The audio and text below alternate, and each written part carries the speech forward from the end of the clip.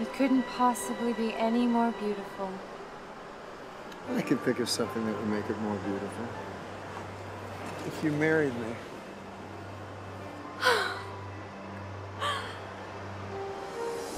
Nathan. Yes.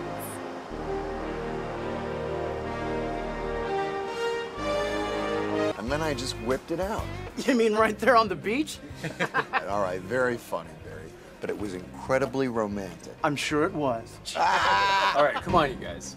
Our man Nate here has decided to pull the trigger. So I say we raise our glasses and toast. Oh, she's the one. You meet somebody, you spend time with them, you fall in love, and you want to spend the rest of your life with them. Just got engaged. For Christ. I am ecstatic that I'm getting married to Julia. I mean, she's the most incredible person I've ever met. Not to mention, beautiful. And she gets that ring, poof. Love, it's a beautiful thing meant to be cherished. We have a very special love, Julia. Of course we do, baby. Really special. We know each other. Now, how are the invitations coming? Great. Wait. What table are we gonna put Shri at now? And I'm actually his fiance. Lucky devil. It's Nathan Roberts, my husband. To be.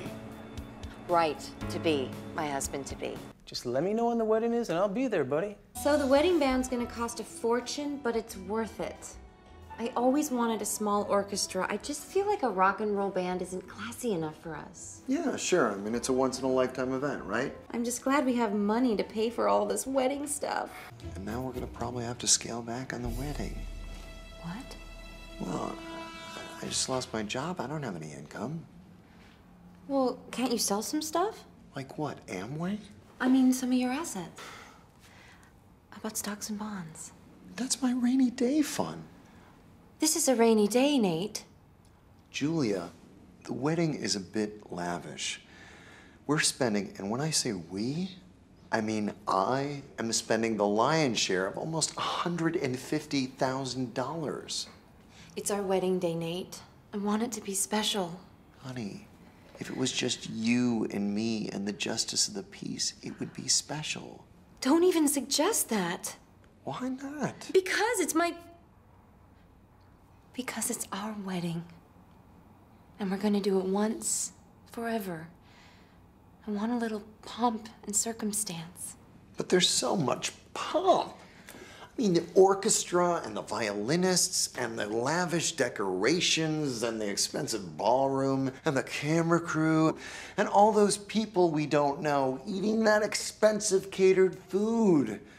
I mean, honey, I spent $50,000 on your engagement ring alone. Is that enough? Could you even tell me how much it was? Because you seem to think it's nothing. Look, I want nothing more for us to be married. But it's about being bonded together forever, not the frills. But I like the frills. I like the pretty dress and the decorations and the ballroom and the camera crew following us around everywhere, preserving it forever. What is so wrong with that? Nothing. But I just lost my job. And I might not get it back. And I don't know what I'm gonna do. You'll figure something out. And money's become a big thing for us. I mean, the wedding is getting really expensive. Well, honey, what kind of a relationship would we have if we didn't believe each other? Exactly. I mean, think of the freedom we would have to do whatever we wanted. We could wander the country, hitching rides. We could stow away on a cruise ship until we got to Hawaii. I saw this man. He attached himself to the outside of a plane on a transatlantic flight and he survived. The human will is an amazing thing. And then we could live on the beach in Hawaii. You know I've always wanted to live on the beach in Hawaii. I mean, ideally, I'd like to live in a house on the beach. I will always take care of you. I don't want you to worry about anything. I sure do love you. You're the best. I was the love of your life. And you were mine. We were gonna get married. Because We loved each other. And that was all that was important. But now you don't even know me. And I would do anything to get you back. Just to have you back here with me, the way it was. How perfect our life was. I just really need that. And I think about being with someone else if you never come back. Truth is, I don't want someone else. I would wait forever for you. If that's what it took, Nate, because I do love you. Remember who I am. Remember who you are. Remember who we are to each other. Oh, Nathan.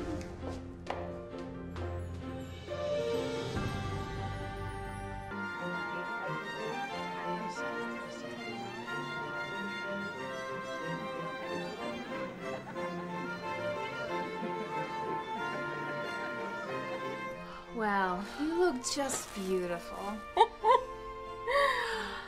Thank you. I can't believe after all this craziness, it's finally here. Well, you earned it. now, this is your reward. Oh, thank you so much. I feel so blessed. Honey, all's well that ends well? yeah? Yeah. yeah. And now I can confidently enter into this union of marriage knowing I made a wise decision. Nah! It's almost go time. It sure is. I'm so glad everything worked out for you, honey. Oh, thank you, Franny. Oh. What? Did you forget something? No, have to go to the bathroom. Oh, do you want me to go with you? Uh, no. I think I need a little me time. Okay. I think it's gonna be a while before I'm alone again. Yeah, like 60 years. okay, but hurry up because people are waiting. You don't want to make them wait too long. You know what? I waited a long time for this moment. So if they have to wait a little bit, it's fine. I love you. I'll be right back. Okay. Where is she? I don't know. You know, women, everything's got to be perfect. She's probably just primping.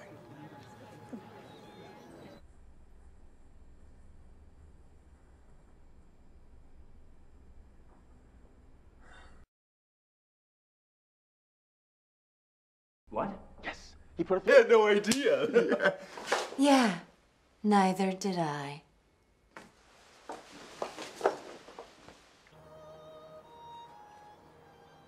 Where is she? Well, maybe she got cold feet. Funny. Well, there she is. Should she be running? She looks mad. Yeah. Furious. Uh-oh. You. Honey? You tested me? How dare you? Oh, this is all some big game to you, huh? You lying, evil, selfish bastard! How could you do this? You said you loved me. Is this how you love someone? I had to know. You had to know? Well, now I know. I know what a turd you are. And all these people know what a turd you are. Hey, everybody, guess what my husband to be did? He tested me. No, no, not for STDs. He made up a bunch of shit to see how I'd respond. Isn't that right, shithead? Well, But you know what? I passed the test, but you failed. Because when you love someone, and I mean really love someone, you trust them and you live with it. For better or for worse, in sickness and in health, but not in deceit. You pretended to be in coma. I can't even begin to tell you how f up that is. She's right. shut up. If all of these witnesses were not here, I would shoot you dead. But you know what? You are dead. To me.